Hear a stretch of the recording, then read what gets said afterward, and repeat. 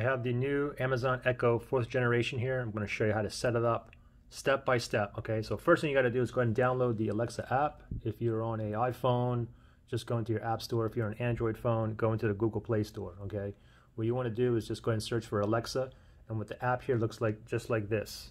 Okay, so once you uh, download, install it, and you signed in, next thing is go ahead and plug in your Echo here. So let's go ahead and plug that in, and then plug the other end into your wall outlet. Pop that in here, and now what you want to do is you want to wait a little bit. You want to wait until you see a orange blinking light down here. That basically means that we are in setup mode. So give it like a minute first. Still here waiting for the orange blinking light. Just be patient.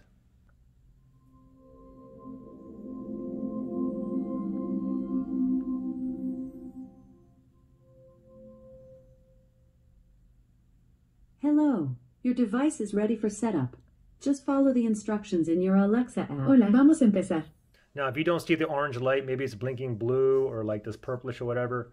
If it's not uh, orange, then just go to The action button is right here. Just press and hold this button. Just keep holding it until you hear now that. in setup mode. Go ahead and let go. Okay, now Follow the you see the orange light instructions in there your again. Alexa app. Okay, Modo so de now configuración just uh, so from here, just go ahead and open up your Alexa app, and then uh, from here, go ahead and tap on devices down here, devices, and then top right hand side, you see the plus sign. Let's tap on that, and then you want to tap on Add Device.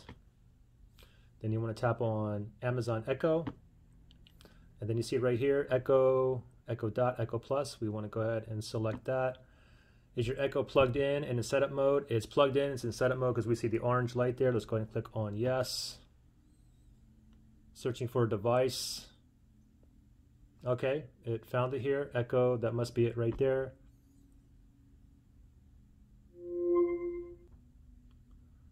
Okay, so connect this to your home Wi-Fi network. Mine is right there. Your Echo is now connected. Go ahead and Your tap Echo on is ready. continue. And then from here you can go ahead and select which room it is, or you can you can kip, uh, click on skip. It doesn't really matter. I'm just going to tap on office here. I'll tap on continue. And then from here, basically they're asking for you to enter your address. The reason is because if you ever ask for your local weather, she'll know exactly where, where your uh, local area is, okay? But you can always skip this. You don't have to do that. For me, I like to have my address in there and I'll click on continue. You can always skip and add it in later as well. It doesn't really matter. Setup is complete. Let me go ahead and clap, um, click on done here. Would you like to set up your smart home devices now? Um, you can click uh, yes, or you can skip this and you can even do it later. I don't even need to do it. So right now we're done. Now we can go ahead and uh, Alexa, what time is it? The time is 6:24 p.m.